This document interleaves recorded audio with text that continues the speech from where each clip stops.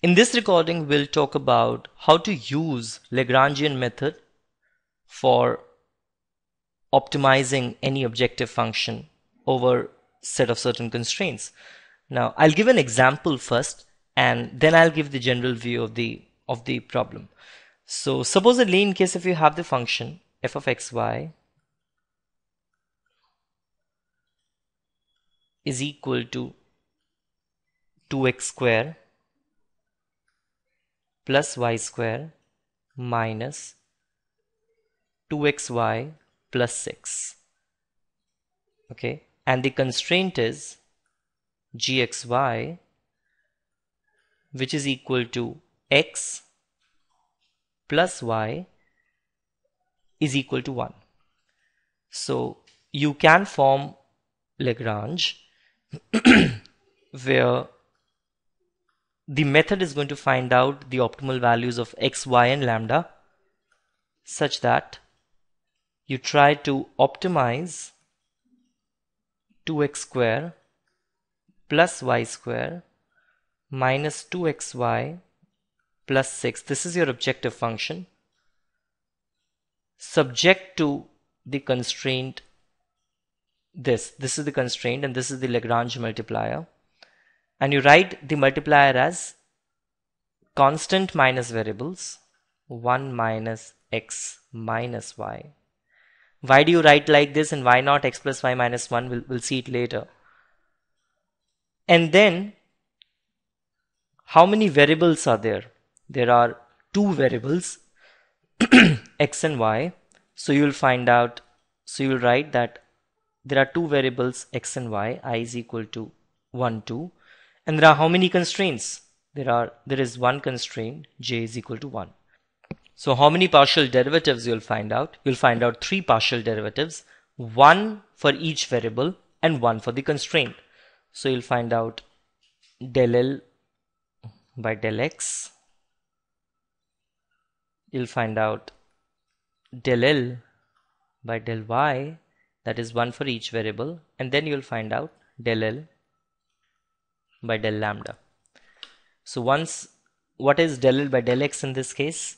It will be 4x minus 2y minus lambda is equal to 0. What is del by del y in this case? It will be 2y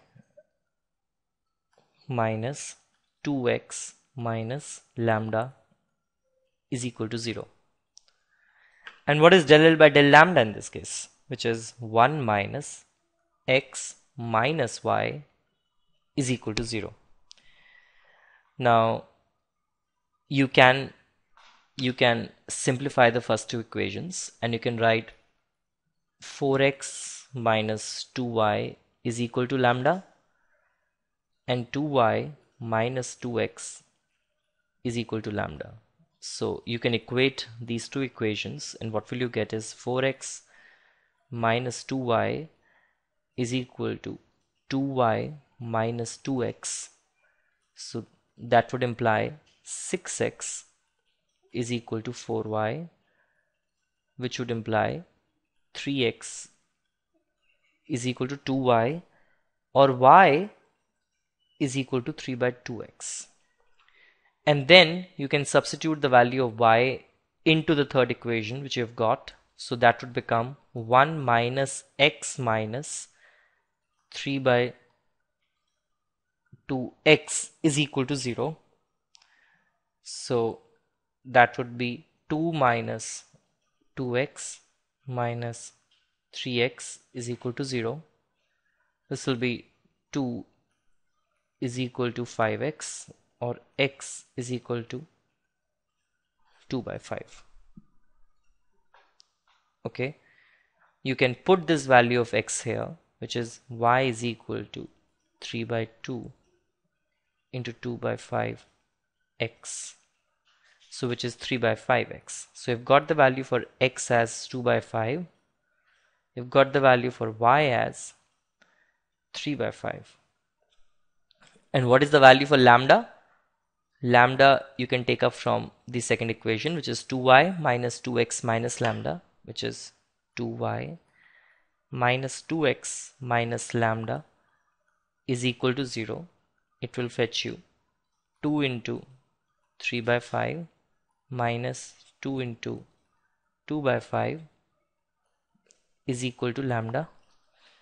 And on simplification you will get lambda which is equal to 2 by 5 so you've got the values of x y and lambda so these are the values of x, y and lambda.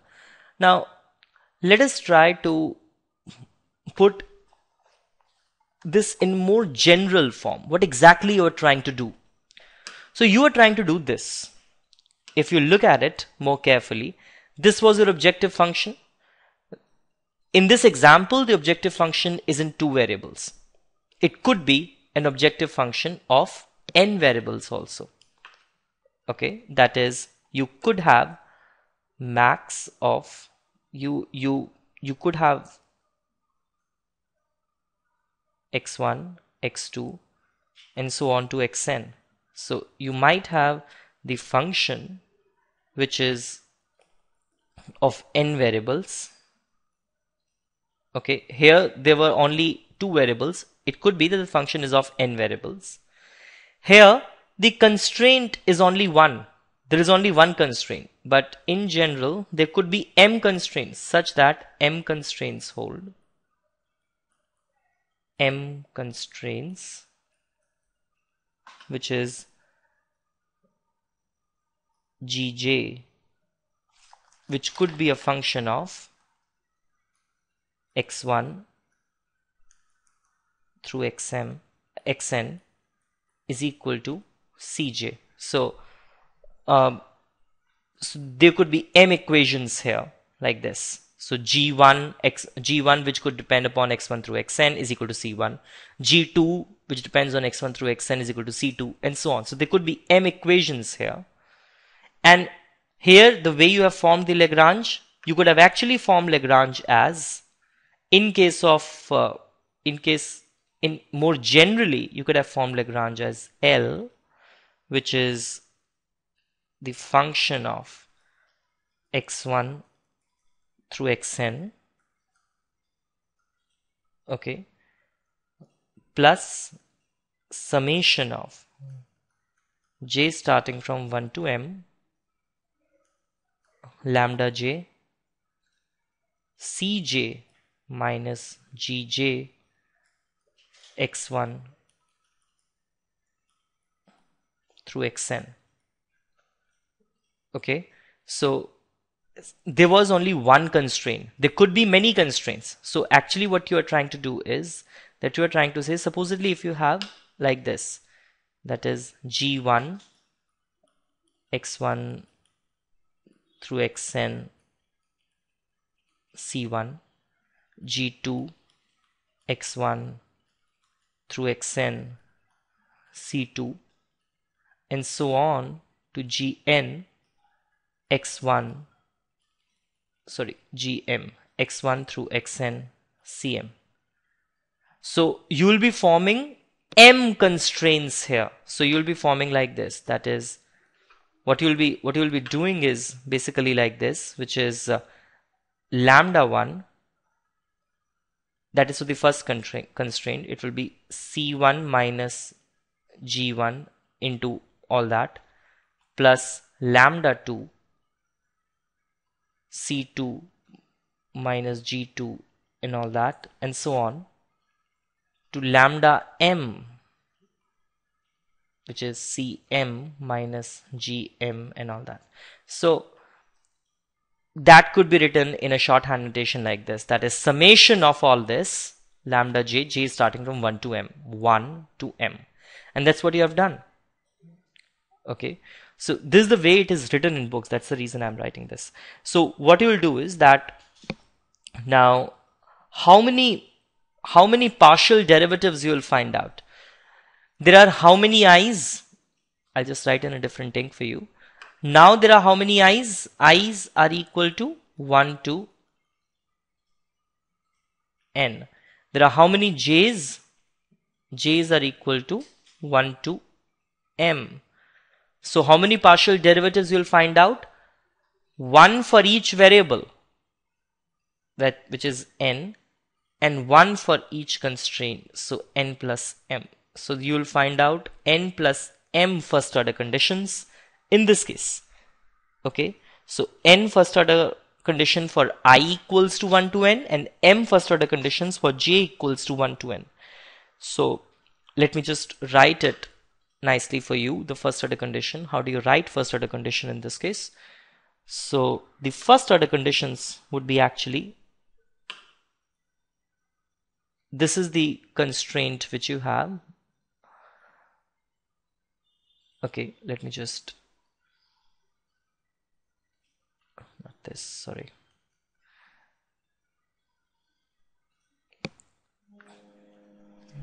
Okay, this is the constraint which you have here. Okay, so it is starting from 1 to. This was the constraint which you have. Now, when you find out the first order condition, what you do is that is one you find out the first partial derivative, say it is fi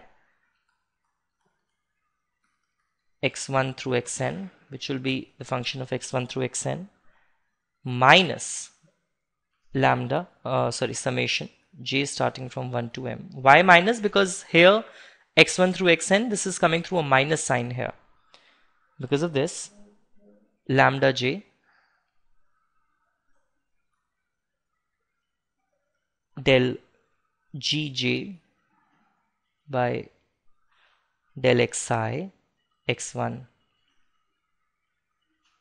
through xn equal to 0 okay that this is for all i's equal to 1 to n. And then for the uh, then for the constraints what is the you you'll find out del l by del lambda j.